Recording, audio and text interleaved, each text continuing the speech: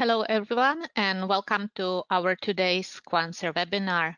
My name is Zuzana Fabushova, and together with my colleague Peter Martin, R&D Manager of Academic Applications, we will be your hosts and webinar moderators today. Good morning, everyone. Thanks for coming today. As Susanna mentioned, today we're going to be talking a little bit about delivering modern and motivational experiences to students um, you, on and off campus using both um, actual hardware and digital uh, resources. So this is going to be a little bit of a, a walk essentially through all the things that we've been working on for anywhere from the last three months to the last three years to the last three decades. And uh, what I hope will essentially come out of this is by the time we get to the Q&A session, which I will try to hit pretty early if I can make it, so bear with me, things might get a little bit hectic as I switch between different devices and things like that, but once we get to the end, I hope this will be a good starting point for a, a fruitful conversation in the Q&A in terms of how these resources can be used and leveraged for, for different teaching applications. So with that, we'll get right into it. Um, at Quanser, if you've been to any of our webinars or presentations before, you'll know we always like to start with this slide to talk a little bit about our heritage. As a company, um, our name is derived from the combination of question and answer, We're an academically focused company and a company that's been in the business of creating academic solutions for teaching and research for over 30 years. Um, our systems are used in, it says here, two and a half thousand plus academic institutions globally. I think we're actually probably close to at least one and a half times that number at this point, um, with thousands of research papers published on the research side using our materials.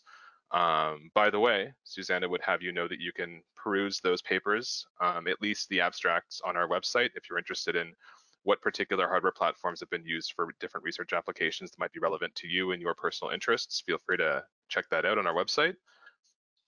And also, our, we have a core of about 80 plus hardware products and solutions. That number is growing um, now into the digital realm, which we'll talk about a little bit later. But essentially, we've been uh, building everything um, from teaching control systems products to mechatronics, robotics, and then in the last 10 or 12 years, getting into unmanned vehicles and autonomous robotics and self-driving vehicle uh, training systems and all sorts of other um, peripheral and uh, emerging trends in in the academic space around mechatronics, controls, and robotics. So, um, out of this, I think the main thing that uh, to take away from these first couple of slides is that we we've been building these types of experiences for students for a long time, especially on the teaching side, and from that has come um, sort of a, an understanding or an ethos around how we present materials to students and what is important for students to understand and to take away from their experiences using our hardware and using our our digital ecosystem products so that they can really go off into their later lives, whether it be in teaching and research or in uh, in industry, obviously, and apply those skills they've learned and really understand the the downstream motivation or the downstream application of these different concepts and skills they learn in, at the university level. And that's really where we started, and that's where we continue to to try to innovate to bring those experiences to students. And really, what we're trying to do is to answer this fundamental question and to work with our partners and to work with you to to help really prepare the next generation of engineering leaders. We have, uh, as we all know, a lot of uh, a lot of problems as a as a global planet and a lot of uh, challenges that uh, engineers more and more are going to be called upon to try to address in innovative ways now and I'm sure in the future. And uh, with that comes this question of how do we prepare that generation of engineering leaders? How do we give them the skills that they need to be able to take on those challenges?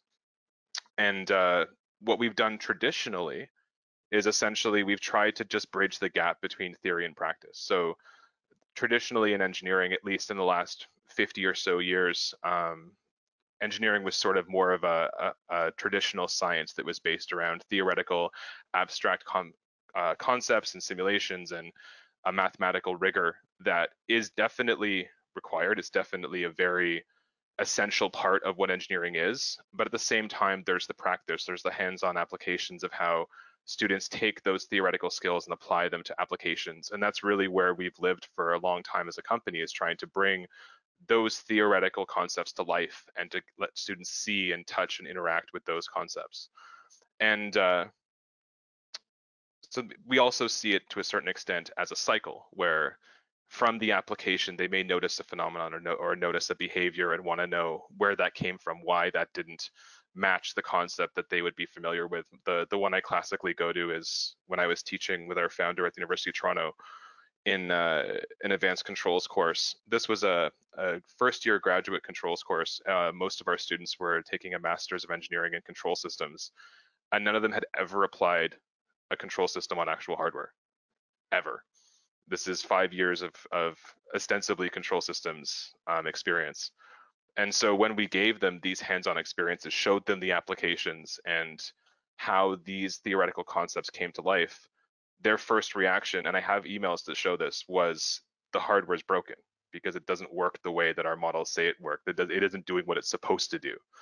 And from that comes this revelation of that's not how hardware works. Like when you actually take a control system and do something with it in the real world, it's not going to behave the way that you think it should, but then you can take those experiences back to the theory and make your models better and make your algorithms more highly tuned or more flexible or and that really out of that understanding comes a much broader a much more applicable understanding of how control systems lives in the real world and then more recently we've taken those lessons and we've started to conceptualize in order to embrace sort of modern emerging trends, like I said, in more integrated systems and more complex system level understanding that's required for modern engineering, this concept of a, a complex modern system. And from this complex modern system, um, what we've basically done is abstract our physical systems or any real physical system that has complexity that you would see in the real world or that you would interact with in a laboratory to this combination of sensing, actuation, communication, and computation, what we like to to humorously call see, chat, do, and think. And these are the essential parts of these complex systems and also the essential parts of an understanding of uh, mechatronics and robotics and control systems in terms of how these different elements of modern complex systems come together and how they can be used to in our curriculum give students a common framework for connecting different courses and projects and types of hardware to let um, us ourselves define learning outcomes, but also to map these complex applications to real world applications. And again, that's to us, that's where the motivation comes from. The motivation to us as educators, as I said, comes from trying to equip them with the skills they need. But fundamentally, we see the motivation to students coming from the application, coming from how well, what we sort of jokingly like to call like, when am I ever going to use this? And that's a question we really try to answer every time we make a piece of curriculum. I'm going to show you a lot of our curriculum today. And whether it's our mobile textbook or our lab activities that I'm going to show you that we've been working on for the last couple of months, or even our traditional material, we always start with that motivation. We start with that question of when am I ever going to use this? What is the point of learning about this concept? And from that, especially from those exciting applications I showed a minute ago, that's where the students see the motivation and get their their interest in how they can learn these systems and apply these systems. And to do that, it's important to be able to abstract away the the nitty gritty of the the integration task and really show them the different elements and how they can be recombined. And I'll show you that in a second. But first, I'm going to introduce you to the Qube-Servo 2. A lot of you may be familiar with the Qube-Servo 2. It's uh, one of our most ubiquitous plants. Um, the one thing I'll mention just in passing as we get to the, the system level concept that I just talked about a second ago is that um, just as a little aside, we just introduced, um, or we will be introducing in the next couple of months, we just made um, public, and you can contact us if you're interested, a new slew of labs for the Qube-Servo 2. We now have, I think, almost double the lab activities that we had previously for the Qube-Servo 2. So you can see, I think before we had somewhere in the order of 12 or, or 13 lab activities, we now have close to 30 for the Qube-Servo 2. These are all completely open, completely modifiable, flexible, completely free. And uh, they cover, as you can see, pretty much every concept you would want to cover in control systems in a hands-on way. Um, so if you're interested in that, please let us know. This is just a little aside to, first of all, introduce the CubeServo, but also to introduce um, the latest and, and most exciting news we have on the Qube-Servo front. But to get really quickly back to this system level survey and the system level understanding of how we integrate complexity and try to show students how they can take something as simple as a cube servo and make it motivational and interesting. I'll talk a little bit about how our cube servos have been used by in different application areas by different uh, research and teaching applications. And you can see here that whether it's dynamic control or prototyping or vision or even emerging trends like IoT and cybersecurity and machine learning and things like that, the, the, the humble cube servo can be used for all of these things. And from that, students can see that even if it's just a DC motor with a sensor and some dynamic complexity with amplification and, and real-time control and everything else that we surround our systems with, the applications are endless and the ways that you can show I mean, some of these are obviously not real world applications. I don't think anyone is going to invert a pendulum and dance in front of it doing um, body tracking to be able to to show how that is applied to a real world context. But in terms of integration, in terms of taking complexity and looking at the different elements of it and seeing how it can be fitted together in terms of communication and processing and perception, those are all really exciting and really interesting, motivational, and also really important things for students to understand and important skills for them to take to those downstream um, applications, whether it, as I said, be in, research or industry or wherever else they find themselves in the future. So the one thing I'm going to do now to sort of introduce the idea of how you could talk about this, um, as I said, as part of this this concept in your uh, your teaching or in your presentations to students, whether it be on campus or online, is I'm just gonna flip away from my slides for one second. I'm gonna show my camera. There we go. Should pop up in a second here. There we go, that's me, hello. And here I have a cube servo. And uh, I'll just exit out of my slides for a second and bring up MATLAB. And what I'm going to show you is basically the type of presentation you could give students really easily, whether it's at home and you're doing a screen share with your students or you're even on campus in a lecture hall or wherever you find yourself. This is a very easy type of presentation to give. The first thing I'll do is, and I'm going to introduce this next, so stay tuned. I'm going to open up a presentation on PID control that I got for free from the instructor resources for our textbook experience controls. And I'll talk a little bit more about experience controls in a second. But we have, um, there'll be a slide on a little bit later, and I forget the actual numbers, but somewhere on the order of two or 300 um, slides and uh, assessment questions and examples and documentation for instructors um, based around our textbook. This is, as you can see, it's pretty open and naked in terms of the the formatting of the presentation because we expect you to be able to put your own flavor and your own spin and formatting on it. But it covers all the essentials of classic PID control. Again, starting with motivation, talking about where position control is used, where speed control is used, why you would use these types of approaches, things like that, getting into the common background sections around control systems and how they're structured and how proportional control affects systems and different responses and things like that. Again, this is all completely free for you to use. You just have to sign up on our website and I'll give you a link to that a little bit later. Um, but the thing is, let's um, just for a second talk about something with like PD control. You can see here the classic presentation that you would give where you're saying you have a response with proportional control and you want to introduce a derivative action to reduce overshoot to basically add damping to your system. But this is basically the, the level of complexity and the level of understanding students might get to, depending on how it's presented in terms of being able to see the difference between lots of oscillations and not that many oscillations and how that affects the motor voltage.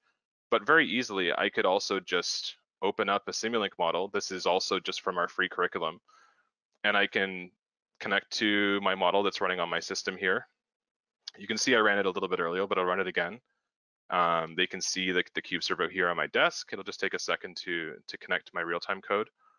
And then give that a run, and they can see immediately how with a, a nicely tuned system, I don't have a lot of overshoot. They can see how my system model, my theoretical model, compares to my actual system. And we can talk a little bit about how actual systems have different unmeasured um, nonlinearities like viscous friction and things like that that can influence the response that you actually see. You can see I have some steady state error in my actual system because ideally you can see I wouldn't, but ideal world is not the theoretical world as we talked about earlier. But then if I do something in order to, again, illustrate conceptually how damping works, I can just get rid of my damping and I'll try this again. You could run this continuously and just tune all these parameters on the fly, but because this is only running for a few seconds, I'll have to, uh, to run it again. And what they'll be able to see here is again, in actual hardware, actually sitting here working with this system, how your response is affected and how looking again from what I just saw, obviously there's quite a lot more oscillation now. Maybe I do need a little bit of velocity gain, um, but you can talk a little bit about how these these types of phenomenon work and how that's the sort of thing that you're really going to need if you're going to, depending on your sample rate and depending on how you apply this. And you can go into those details. You can change the sample rates. You can add a little bit more velocity gain. You can add filtering on your feedback. You can change it from what we're doing here with velocity feedback to just your classic PID structure and show all the differences and show how it works. And you can actually have students work with these systems themselves, which I'll, I'll show you in just a couple of minutes in terms of how you can actually give them this type of experience as you're showing it to them. And they can do comparisons there as well. But the first thing I'll do um, is I'll talk a little bit more about experience controls as I just talked about with the instructor resources, where how do you, what we wanted to do at the end of last year, or sorry, I should say the beginning of last year, we launched at the end of last year, was to to try to bring this kind of flavor and bring this kind of um, this kind of ethos, as I said earlier, about how control systems and how mechatronics and robotics are, applied in the real world to students as they tackle what is typically sort of one of the more difficult um, areas of a control systems course to be able to have students feel motivated about, which is the textbook. And so what we did was we basically took our, our years of um, experience in building digital platforms for mobile, and we created a completely mobile textbook. And uh, as you can see, we started with the fundamental um, core tenet of everything should be motivational. It should have applications that are relevant to real world applications and it should be interesting and interactive and engaging. And so you can see here, they can interact with all these simulations. They can try all sorts of different control parameters and structures and approaches to all sorts of different plants, whether it's submarines or rocket ships or airplanes or even just traditional industry things like robotic arms and couple tank systems and things like that. And uh, we really feel like this is one of the the most rich and exciting um, ways to be able to have a resource and a reference like a textbook um, to be able to understand and really connect with these concepts, even if it's just a plot. The one I'd love to show, which I can actually show you in a second here, I'll, I'll share my screen and you can take a look at it, is something as simple as just being able to show students the uh, the uh, effective aliasing, which I mean, on its on its face doesn't sound that exciting. Aliasing is not exactly. Um, I'm just connecting my phone here. Is not that exciting a thing to be able to like talk to students about. But uh, if you look at this sort of um, application here, I'll bring it up, and uh, you can see I was going through some stuff earlier. But if I come here to data acquisition, so again, data acquisition, it's a pretty straightforward concept. We typically maybe don't even cover it in control systems, but again, we think it's important for students to understand where the data they're going to use in their controller comes from. We talk about different types of processors, different types of DAQ systems, things like that. We always highlight the basics. And as you can see here, we always start again with the motivation. What, why are you're going to learn about DAQs? What's the, the downstream um, reason to learn about these concepts? A little bit of types of signals, things like that. But very quickly, you get into something that's interactive where I'm just playing with the sample rate being applied to a simple sine wave and seeing how the sample rate affects the quality of the outcome, the the aliasing on the outcome. And you can see here, if I change my frequency, again, I run into issues unless I have to up my sample rate and you can get into Nyquist and things like that. So there's a lot of complexity here, but this is the first time when, when one of our developers created this, this is the first time it ever really seen an interaction like this to really show a student how something like aliasing comes to life and how you lose in resolution as you change sample rate and you change analog frequency. And we do this the same thing with digital systems and things like that. And you can change the types of signals and all sorts of stuff like that. But even something as simple as this, it doesn't have to be as complex as, again, if we get back to something like the, the PID control example I was showing earlier, we we you can do something like this to show students the the applications for how something like this would come together where you run a simulation and you can show them how simulations can come together and how interacting with something in the real world can uh, can really make it exciting for them. But it doesn't have to be something like a, a tank system or a robot arm to show them an application. It can just be an interaction of something that you would typically see in a textbook, but it's coming to life. It's interactive and it's something that they can see and play with. And that becomes really interesting a lot of times. Um, the last thing I'll mention is that, again, just to reinforce the concepts I've been talking about, what we've done with the textbook is also given a remote hardware experience where students, just for a couple of minutes, just to see what happens, can remotely connect to a cube servo that we've set up at our office and they can play with these actual gains on a cube servo remotely. It's not essentially a, ro- a remote lab because they only have a couple of minutes and it's only tuning a couple of parameters on it, but it's on an actual piece of hardware so they can actually see how again, the, the damping coefficient affects the position controller, or if you flip to to speed control, how speed control works and how, as you can see here, I'm getting a little bit of noise now, and if I increase my derivative, maybe I'll get a much smoother response, but as you can see, derivatives increase noise again, so I have to mitigate that by controlling my derivative a little bit more to try to reduce noise, but then I can introduce integrals, and you can see how students just playing with this for a couple of minutes can start to really understand how these parameters that they've been learning about can affect a real piece of hardware. And again, it's just a really simple interaction. And I will talk a little bit later on, if you like, about um, some applications of, of remote access to hardware and things like that. But really what I wanted to showcase here was how you can make something like a textbook interactive and motivational and interesting to students. It doesn't have to be as as plain and as straightforward as it typically would be. Um, here again, as you can see the our application of position control where we're actually just working with an arm and you can see you can tune your parameters and see how that affects the degree of freedom of the arm. You can introduce noise and see how noise affects the response. And then you can introduce filtering and see how filtering while reducing the noise also introduces some lag and makes it a little bit unstable and you have to retune. So you can really get an understanding of how these types of systems work and how they're applied.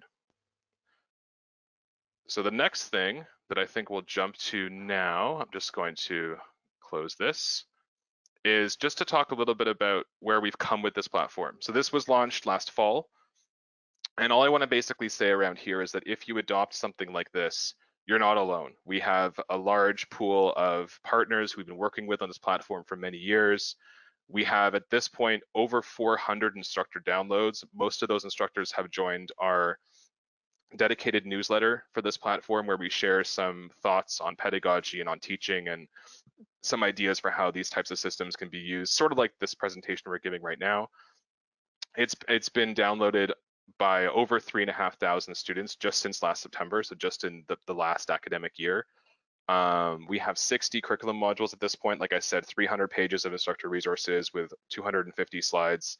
And as you can see, the response of students is fantastic. I think we've only we've only ever got one three-star review, and every other review we've gotten out of I think one or 200 reviews has been five, four or five stars with a lot of really, really nice feedback from students who um, really make for us developing something this motivational, but also that shows that students really do want to connect with these concepts and they want to understand them and really get a feel for how they work. And they appreciate this type of platform in order to try to make things more interesting and exciting and engaging for them.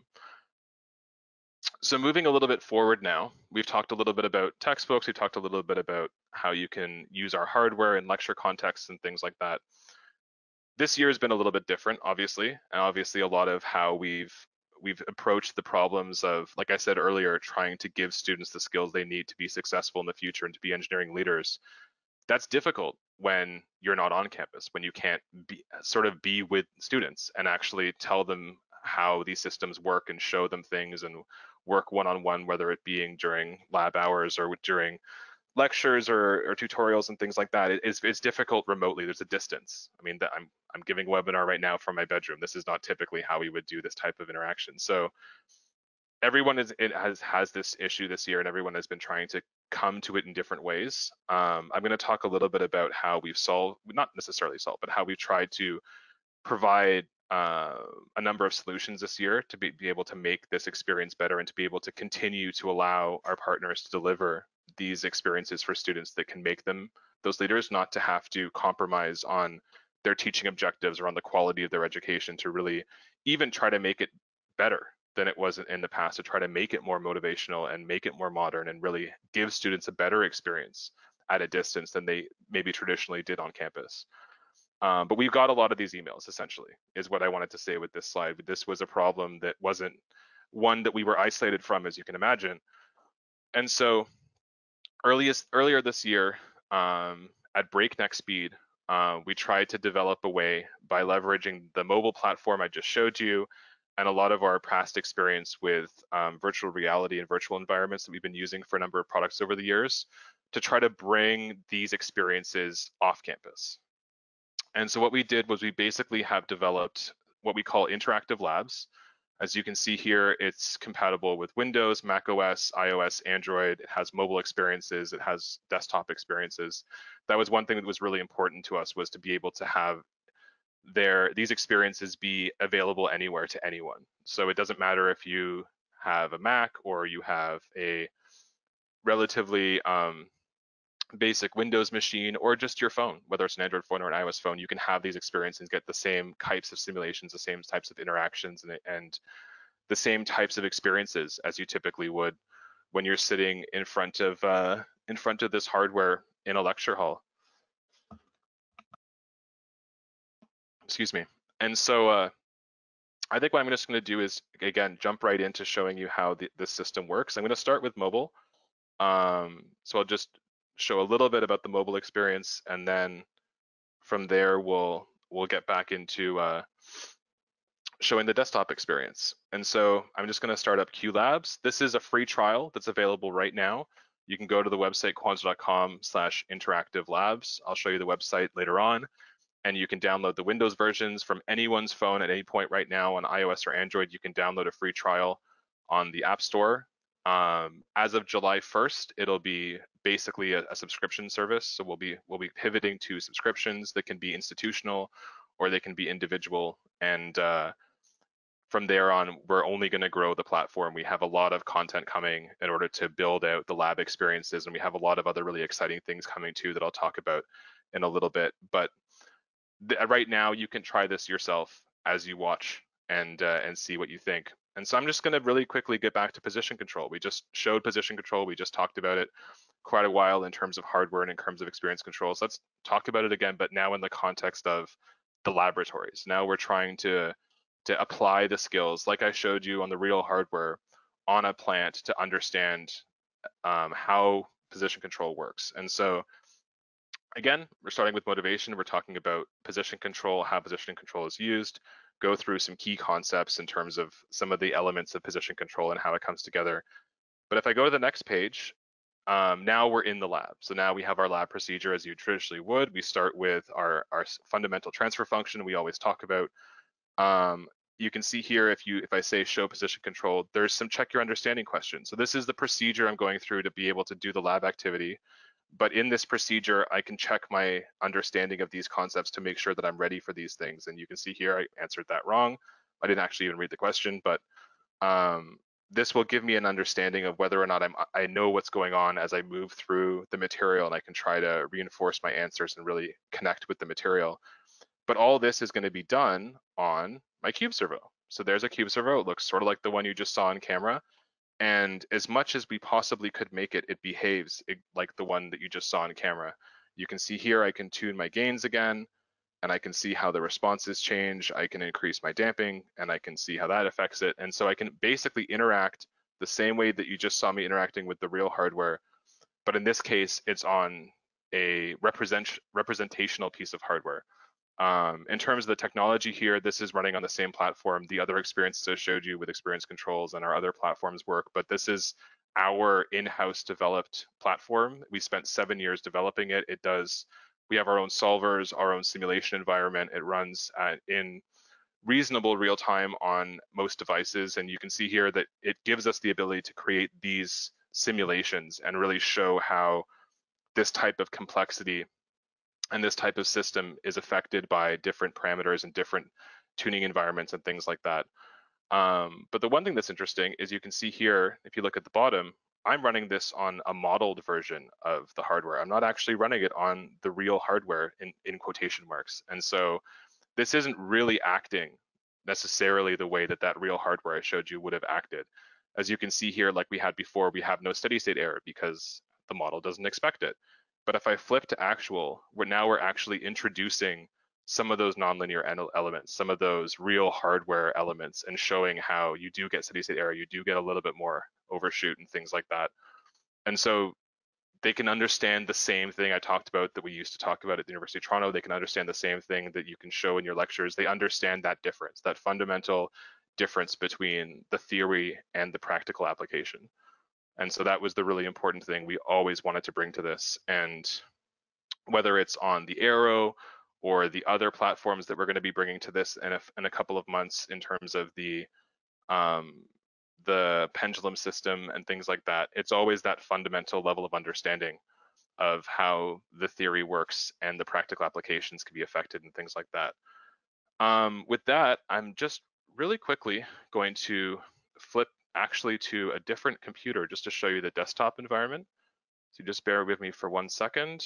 I'm gonna flip over to a different system.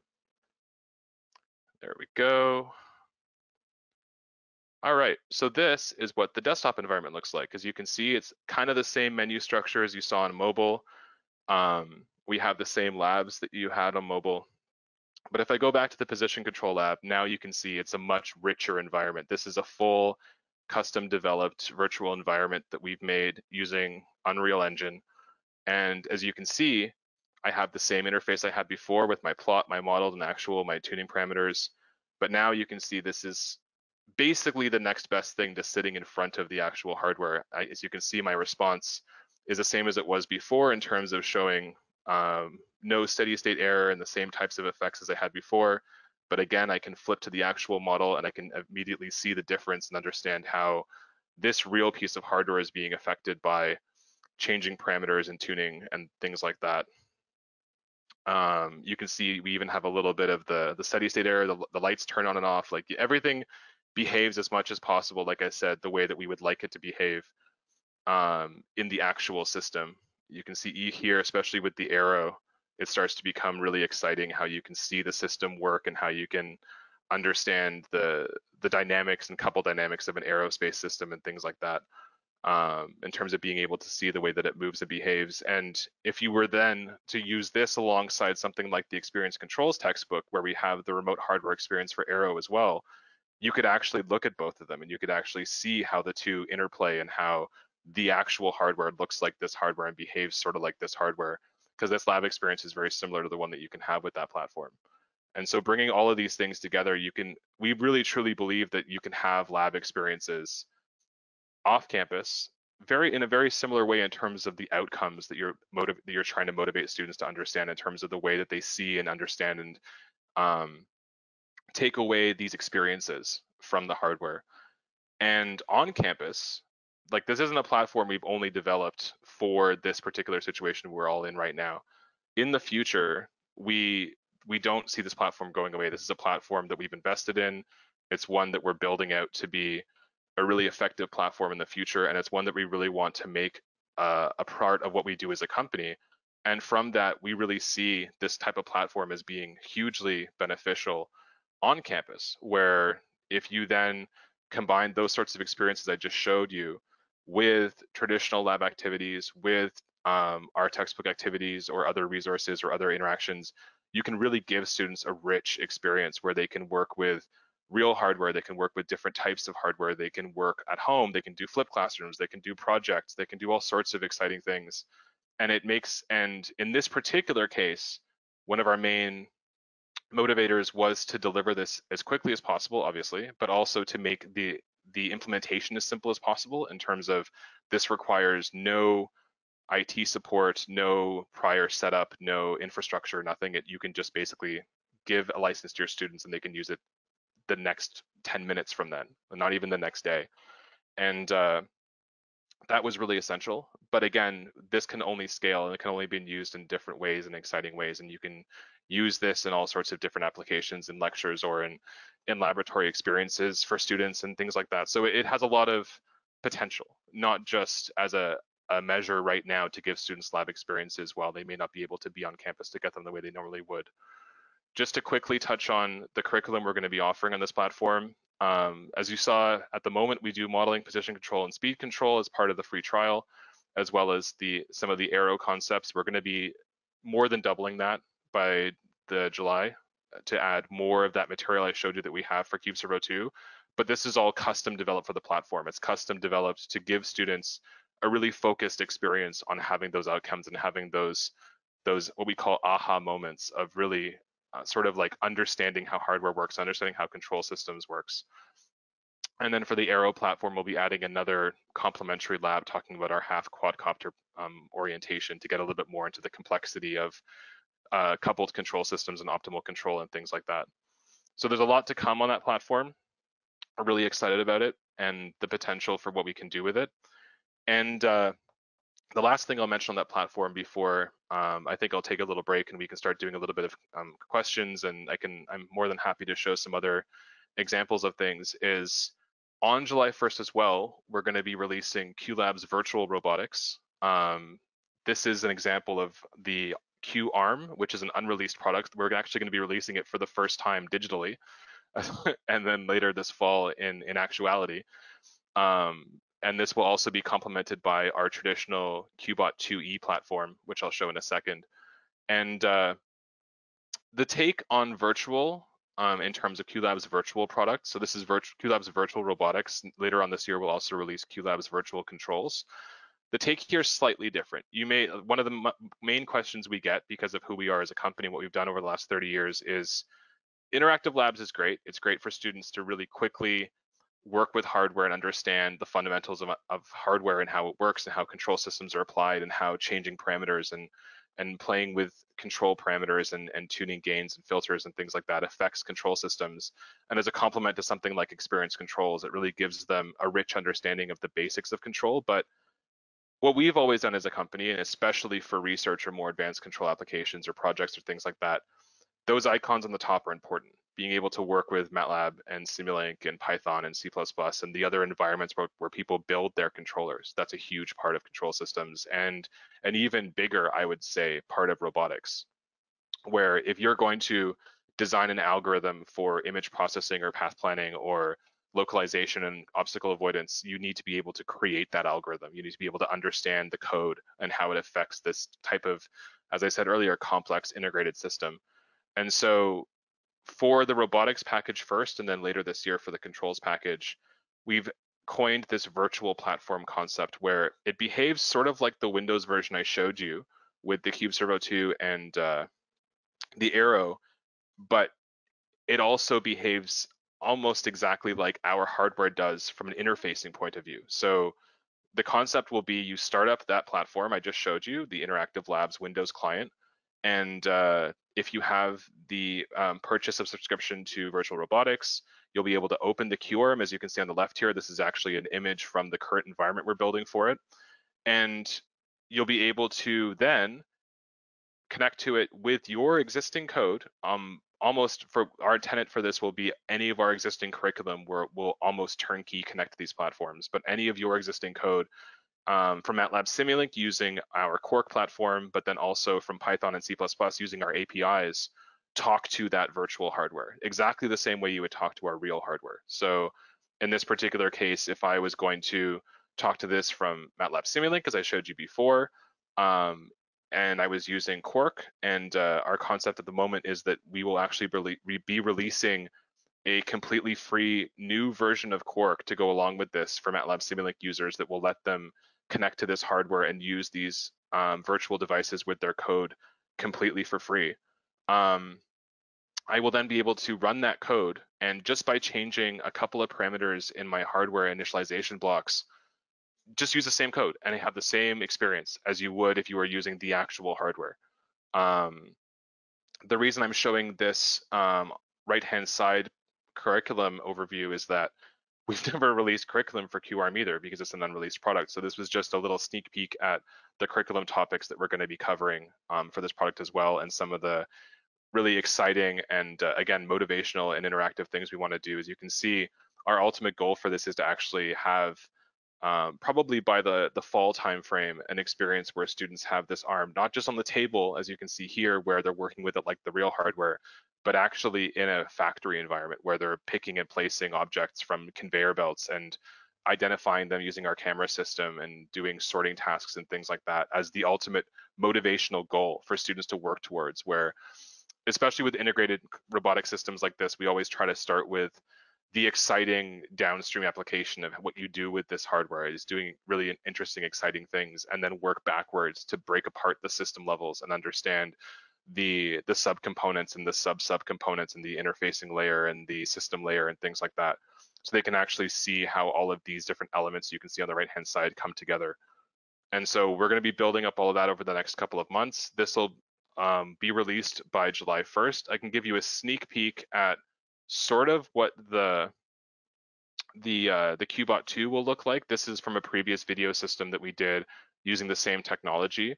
And uh, you'll see in a second here sort of what the QBot 2 will look like. Unfortunately, I wasn't able to get a, a render of what the QBot 2 look like looks like currently, but this sort of experience where you'll be able to drive the QBot around in a known environment, you'll be able to do mapping and localization and all the activities you can currently do with our QBot curriculum out of the box from image processing to obstacle avoidance and everything else that you would you would typically do. So that's coming as well um, by July 1st, and then beyond that, we have a lot of other exciting things to to share and that we're working on that we really think will build out a rich um, complement of experiences for students and for you, whether you're teaching in the lab or teaching remotely, and whether you're doing robotics or mechatronics or control systems and you're doing research or you're doing teaching applications or lectures or labs or projects or flipped classrooms, whatever your application and whatever your need, um, we're trying to build out solutions as we always have to, to try to make that possible. And like I said, to try to motivate students and give them those skills that they're going to need regardless, regardless of the situation. So that's about all I have for today. Um, we'd love to to have you visit our website at uh, quanser.com slash interactive labs or email us info at quanser.com. Um, we also have other websites for experience controls where you can download the instructor material that I showed. Um, interactive Labs, as I said, right now is available for free until July 1st on all the platforms. Um, Windows and Mac OS you can download from our website. Mobile apps you can download from the app stores. And obviously our hardware continues to be manufactured. So if you're interested in our hardware, also reach out to us, info at quanser.com, and we'd love to talk to you about your particular needs and what you're interested in uh, in doing with it. And with that, I think we'll we'll flip to a little bit of Q and A if uh, if anyone has any questions or or things they'd like to share. Thank you, Peter. Um, yes, we have received a couple of questions, and I would like to invite uh, our whole audience. If you have more questions, please send them now, and Pete will uh, keep answering them as they are coming. Uh, so the first question uh, regarding Quanser Interactive Labs for servo position control. Can I change the reference signal to step input or another type of input? And also, can I change the scale of the position axis? The scale of the axis for sure. Absolutely. And we're working on more uh, plotting tools in the future that to make that a really interactive plotting system. Um, this you can change the scale of the step, and that's one of the things that we um, actually for position control. Now that you mention it, I'm not entirely sure if we can change the scale to step. We might just have it fixed, but definitely for the modeling lab, um, you can change the scale of the of the pitch. I I can just actually flip to it again, um, and I can show you. So I'll just flip back to it here.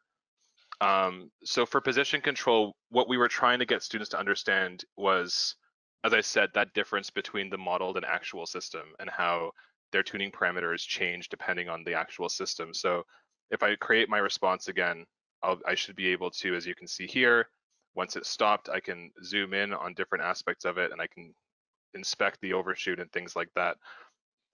But um, we, we weren't really changing the tuning parameters because we wanted to keep something fixed but be able to give them those outcomes.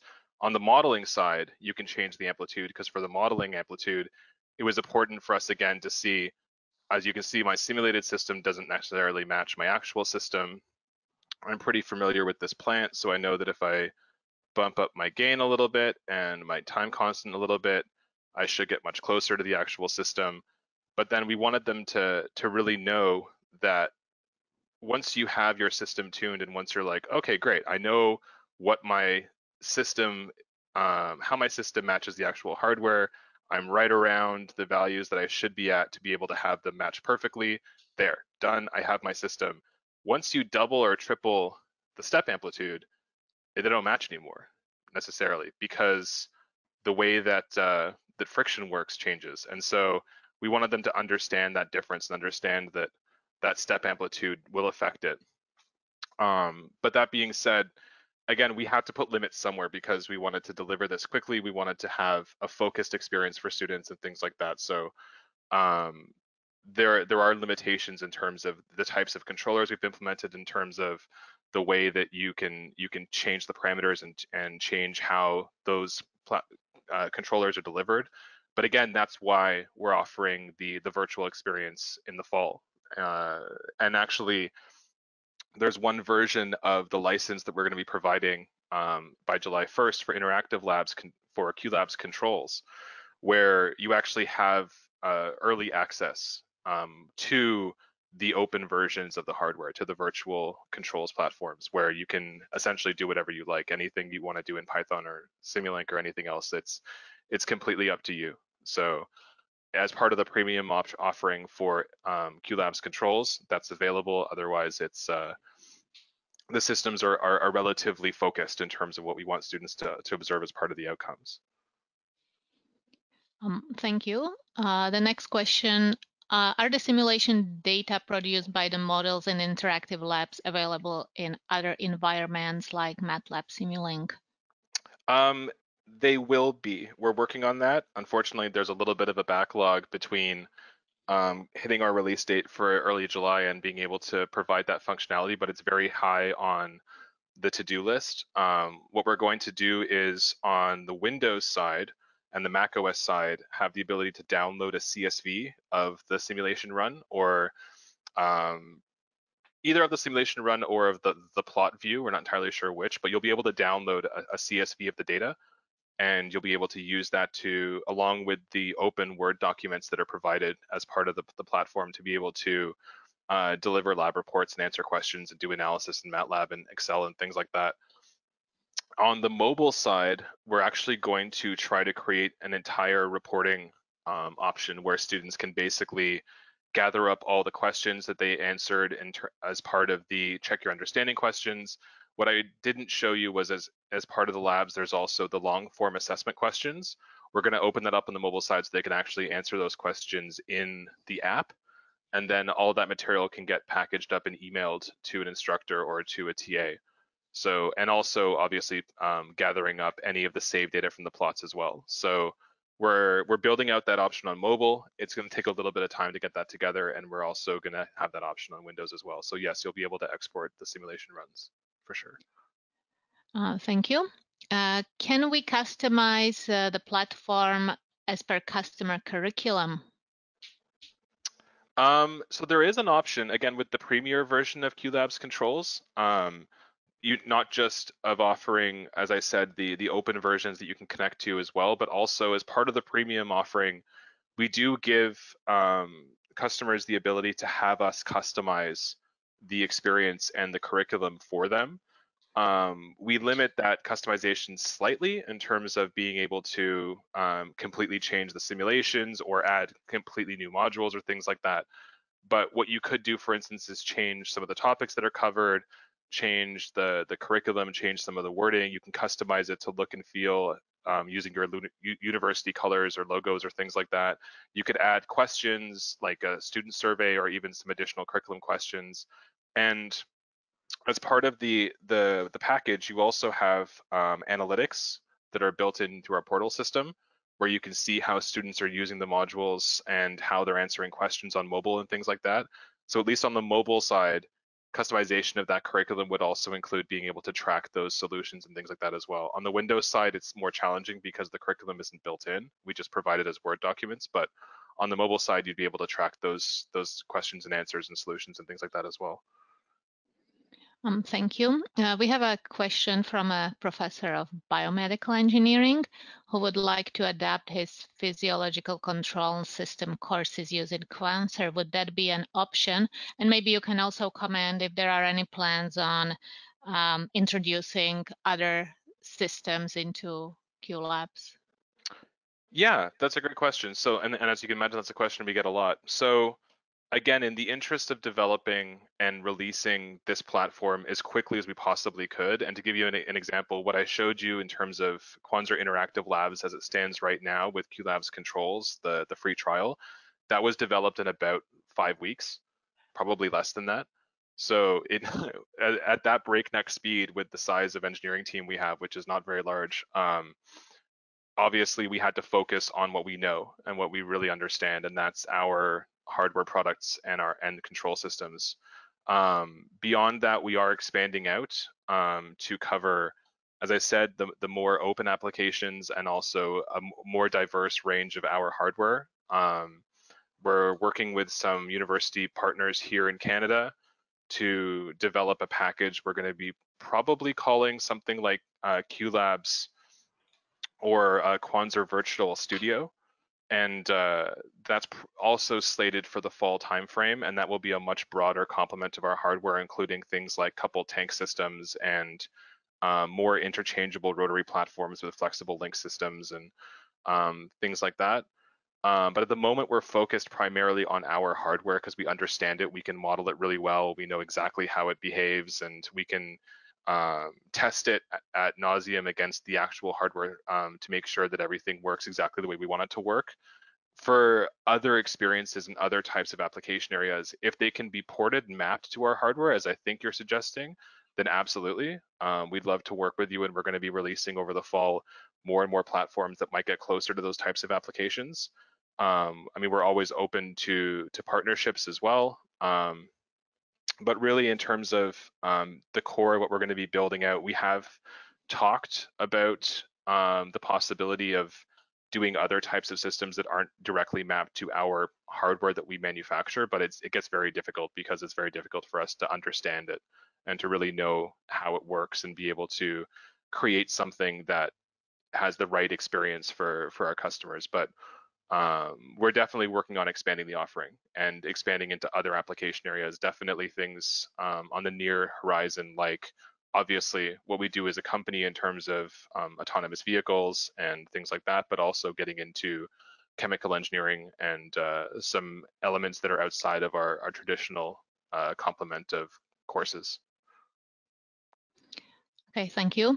Uh, there is a bunch of questions uh, touching on remote lab. So how can we conduct online experiments using Quanser? Can we connect external hardware? And also, um, if there are any plans to expand the uh, offering to remote labs so that um, you can control, let's say, the, the Qube-Servo and uh, use a video camera to observe it.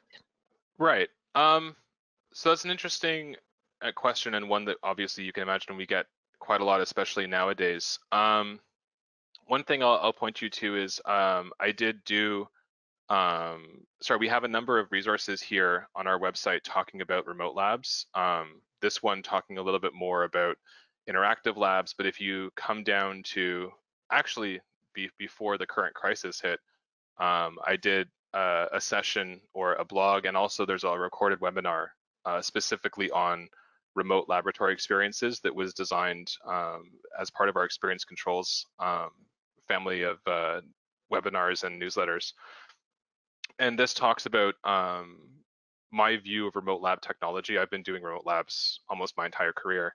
And uh, this just talks a little bit about some of the considerations for remote labs and some of the ways that you can build out remote lab experiences using things like I showed you in terms of our, our experiences, but also some of the key elements of remote lab technology. Um, and if you watch the webinar, you'll get a little bit more um, in depth in terms of the, the, technologies and the protocols and the important things to consider and stuff like that. Um, one thing I'll, I'll, I'll, talk about is that the reason that we didn't go in a remote labs direction ourselves is because remote labs are not easy. They're they're never easy. Like you can build them, and I have several times, but they never work exactly the way that you'd like them to, and it's they're difficult to maintain. They're difficult to set up, especially in a university context. They have a lot of um, maintenance and oversight, and you really have to consider the experience you want students to have, whether it's real time or it's asynchronous, or they're tuning parameters, or they have live camera feeds, or they have audio, or they have live interaction with TAs, like all of that and scheduling and everything else. It, it gets very tricky. And uh, again, we, we went the virtual route, as you've seen with interactive labs, because we wanted to sidestep all of that and give them those experiences that are very much like what they would have remotely, but without actually having to have all of the infrastructure and maintenance and oversight required for a remote experience. Um, that being said, all of our hardware um, to a certain extent is remote capable. So almost everything, at least if you have um, QUARC and MATLAB Simulink as the platform that you use to run our hardware, um, the same way that we deploy Simulink code to our drones and our ground vehicles, you can deploy Simulink code from anywhere through an IP address directly to the hardware, depending on the interface you're using, or even directly to a PC running the hardware. Um, if you look at the, the experience we have right now with experience controls with the remote hardware labs, those for the first few months of experience controls were running on Raspberry Pis, and I would just basically connect directly from anyone's phone to the Raspberry Pi itself, and that would talk via our QFlex platform to the Qube-Servo 2 into the Aero. Uh, recently, for as I said, for robustness and maintainability, um, especially not being in the office, I transitioned that to a Windows machine that's running them now as well. But it's the same experience. You can deploy code. I can deploy code from here to that device at the office. I, you can connect to it from anyone's phone directly there. So all of our systems are capable of doing that, but um, there's varying levels of complexity depending on the experience. And we are working on uh, a document to recommend how to do that, how to outfit your systems, especially Quanser systems, to be remote lab ready, um, how to design Simulink or MATLAB or Python platforms to be able to talk over the internet from your students to the systems, and some thoughts on video streaming and things like that. But um, yeah, basically, I, I, would say it's doable, but it's it's a lot of uh, a lot of unforeseen maintenance and complexity that I would caution to be aware of, at least if you're going that route. Thank you. Uh, the next group of question is touching on um, software. Does the system run in Linux? Um, the interface with MATLAB, does it need some drive or hardware interface? And the last uh, part, is there any community or place on the web to get help on how to run Python code on Qube-Servo system? Okay, that's a uh, an exciting set of questions. So uh, the first one, the the inter the interactive labs platform um, doesn't run on Linux as far as I know. We only build it for Windows 10, Mac OS, Android, and iOS.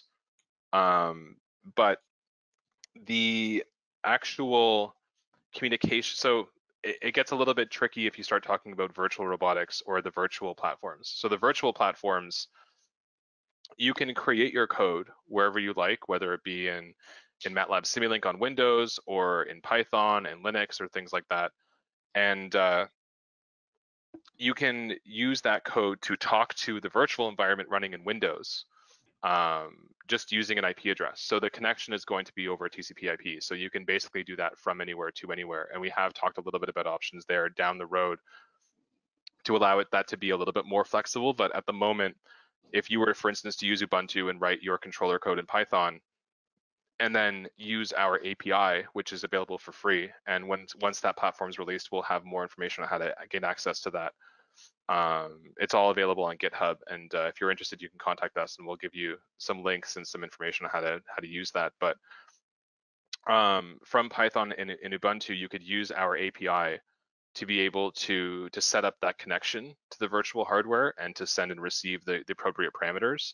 And but that actual virtual platform, the virtual hardware, would always have to be running on Windows 10. So basically, because we're using Unreal and because of the way that we're building Unreal to sit on top of a real-time simulation that's actually running in real time talking between your code and the virtual environment.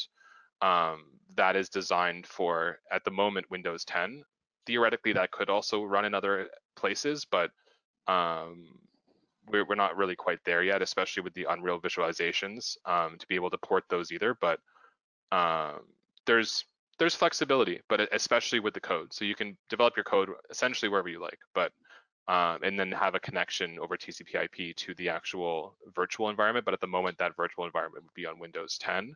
And for the QLabs controls that I showed, where it's the much sort of more param parametric interactions with the the sliders and gains and plots, um, that's Windows, Mac OS, iOS, and Android. Um, I think there was, may have been one other question there. Oh yeah, um, information on the web for using Python with Qube-Servo 2. Um, so at the moment, the Qube-Servo 2 in terms of Python is only available if you, um, I'd have to look into it. There's, there's a few different options. You can uh, create Python code on the Raspberry Pi, and we have an API to let you talk to the Qube-Servo 2, but I'm not entirely sure if that's public facing or not. I'd have to look into it. Um, our HIL API has been wrapped in Python, which would let you talk to the Qube-Servo 2. And uh, if you contact us, we can we can give you some information on where to access that. Um, obviously, there'd be a lot of, of, development there to go through in terms of building up an uh, an infrastructure around it, but also all of the the Qube-Servo 2 products through the embedded interface, which is part of the QFlex platform. So QFlex I was using today is USB. You can swap that out for an embedded interface, and then from there you can talk to it from a Raspberry Pi or from anything else with SPI packets very easily as well. So there's some options there. I'd encourage you to probably reach out to info at quanser.com or tech at quanser.com and we can give you some resources to, to build up that platform. Uh, thank you, Pete. Uh, we are running out of time, so one last question and uh, then we will uh, part. So very quickly, can you comment on the cost of the platform and the subscription to the interactive labs?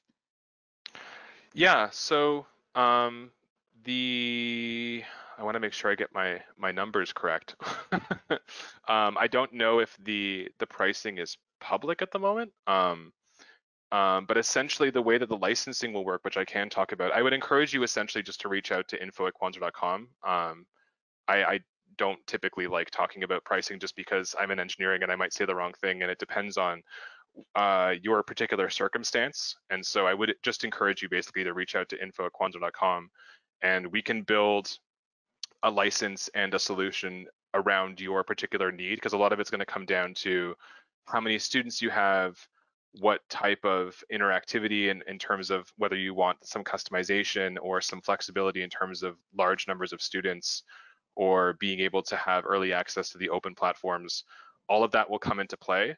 And we have options for you, whether you have 10 students, 100 students, 1,000 students, and or even just yourself as an individual, and you're wanting to to buy a license for four months or for a year, just uh, to personally use as you're giving lectures or things like that. There's a lot of options there, and so I don't want to misspeak and give you the wrong idea. So I'd encourage you just to reach out to info at and our sales team would be happy to to build a solution around your particular need. Okay, thank you, and uh, thanks for the the very interesting presentation. Thanks again for joining us today, and we are looking forward to uh, seeing you online at uh, one of our upcoming webinars. Thank you. Thanks, everyone.